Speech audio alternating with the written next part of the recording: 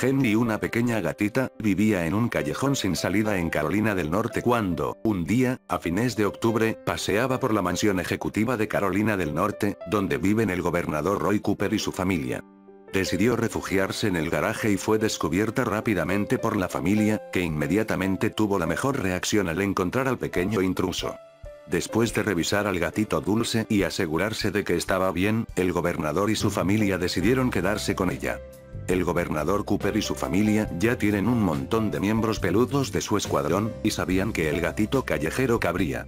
Después de su vida en la calle, convertirse en una de las primeras mascotas es una mejora para Henry y hasta ahora, ella está amando cada minuto de su nueva vida. Además de Henry, la mansión ejecutiva de Carolina del Norte es el hogar de muchas otras mascotas. Hasta el momento, Henry ha sido un poco desconfiada. El gobernador Cooper y su familia siempre han sido grandes amantes de los animales, como lo demuestran los muchos animales con los que comparten su hogar, y están encantados de poder darle a Henry un hogar para siempre.